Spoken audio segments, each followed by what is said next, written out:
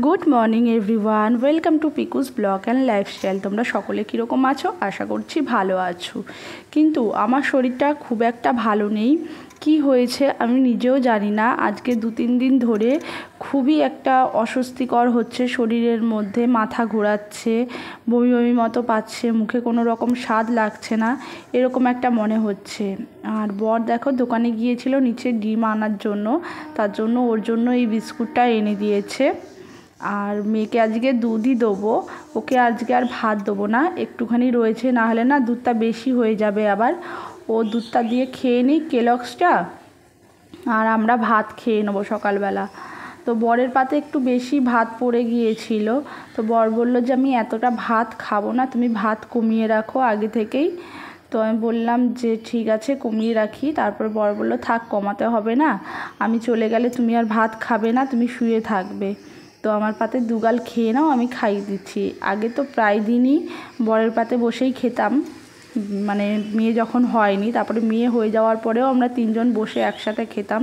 কিন্তু এখন আর মানে খুব একটা খাওয়ার সুযোগই হয় না, এই জন্য আর খাওয়া হয় না। আর এদিকে দেখো মেয়েকে এই রেয়াজ করতে বসিয়েছি একটুখানি। মেয়ে মেয়ের মতো রেয়াজ করছে, আর ও খাচ্ছে, আমাকেও খাইয়ে দিচ্ছে। মেয়ে, আমি কিন্তু ছেলে না, কেউ কিন্তু আমার পাপাকে জিজ্ঞেস করবে না যে আমি মেয়ে না ছেলে। বুঝেছিস? কি বলবি? আমি কিন্তু মেয়ে, আমি কিন্তু ছেলে না। শুধু বছর শুরু কর আর ওকে একটু তাড়াতাড়ি খেতে দিয়ে দিই নটার মধ্যে, কারণ ও সাড়ে নটার মধ্যে যেহেতু বেড়ায়, খেয়ে যেন পাঁচ সাত মিনিট একটু রেস্ট করতে পারে। আর এত গরম পড়েছে, ও বলল সানগ্লাসটা আমার বের করে দাও একটুখানি, প্রচণ্ড চোখে রোদ্দুর লাগে। তো সানগ্লাসটাও দেখছি একটু খারাপ হয়ে গেছে। তো ওকে বললাম যে, আর একটা সানগ্লাস কিনে নিও। আর এইদিকে দেখো, মেয়ে একা একাই খেলছিল, আমি ঘুমিয়েই ছিলাম, মেয়ে একা একা খেলছিল, ও তারপরে এগুলো সব গুছাচ্ছে। ওকে বললাম যে, তুই ভাত খাবি? আজকে একটু একা একা খেয়ে নে ভাত। তো বলল, ঠিক আছে মামা আমি একাই খাব। তো দেখো, একা একাই ভাত খেয়েছে। একটু মাছটা শুধু একটুখানি বেছে দিয়েছি, ও একা একাই খেলো আজকে।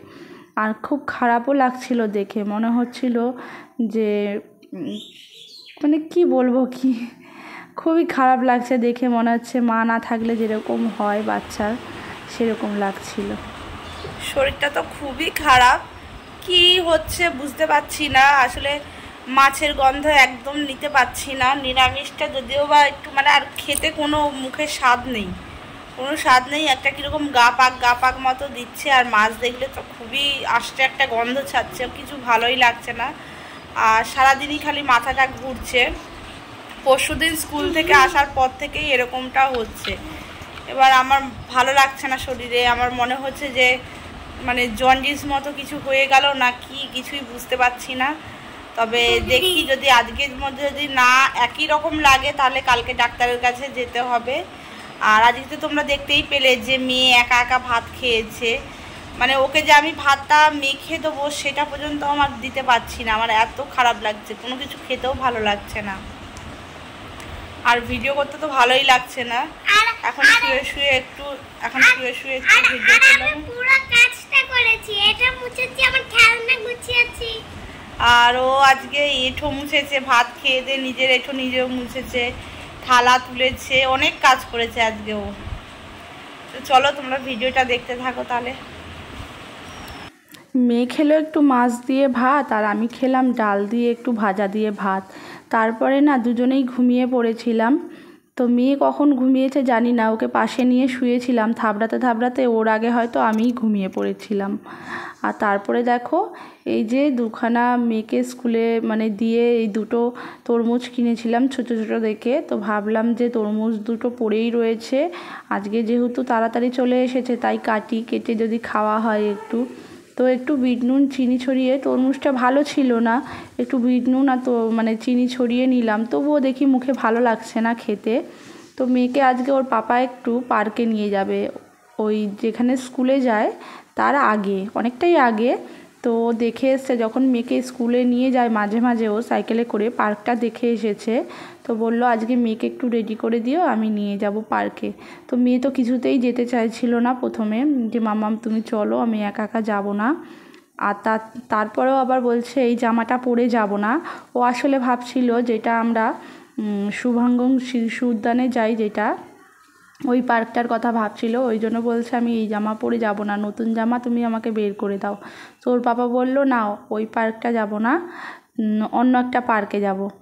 তো তারপরে ও রাজি হলো, হয়ে এই পাতলা জামাটা পরলো। আর এদিকে দেখো, ও এটা কি চড়ছে, একটা রাউন্ড করা, এ করা গোল, সে ঘূর্ণির মতো। আর ওর পাপা বলছিল যে বাচ্চাদের স্লিপ বানা মানে বাচ্চাদের এই পার্ক বানাবে কি? বড়রা বসে বসে সমস্ত যেন ভেঙে দেবে এরকম অবস্থা। মানে বাচ্চাদের পার্কগুলো দেখবে কিছু দোলনা টোলনা থাকে, কীরকম মানে ভাঙাচোরা থাকে। তো ওইগুলোই নয় বড়দের জন্যই হয় ওরকম। ছোট বাচ্চাদের পার্ক, ছোট বাচ্চাদের চড়াতে এসে তারা চড়বে। দেখতে এটা কটু দৃশ্যও লাগে, ভালো লাগে না। তবুও সব লোক তো আর বোঝে না। তারপরে ভাবলাম যে ঘর টরগুলো ঝাড় দিয়ে নিই, উঠে নিই। তো ছটা পর্যন্ত আমি শুয়েছিলাম, তারপরে দেখি ছটা পার হয়ে যাচ্ছে। তো বলো ভাবলাম, না, সন্ধে হয়ে যাচ্ছে ঘর দোয়ারগুলো ঝাড় দিয়ে নিই। ভালোও লাগছে না, সকাল থেকে সেই যে স্নান করে উঠেছি, মাথাটা আঁচড়াতেও ইচ্ছে করছিল না। সারা দিন শুয়ে রয়েছি, না খেতে ইচ্ছা করছে, না কোনো কাজ করতে ইচ্ছা করছে, শুধু মনে হচ্ছে যে ঘুমিয়ে থাকি। এবার কি বলো তো মাছটাই শুধু গন্ধ লাগছে, আর কিন্তু কোনো রকম কোনো মানে কোনো খাবারে গন্ধ লাগছে না। শুধু মাছের গন্ধটাই তীব্র লাগছে। তো আমি তো মানে মনে মনে ভাবছি যে কী না কী হয়েছে। এখন দেখি যদি পরের দিন পর্যন্তও থাকে, তাহলে ডাক্তার দেখাতে মানে ডাক্তার দেখাতে যাব। আর এদিকে দেখো কত জামা কাপড় সব রয়েছে, এগুলোও গুছাতে হবে।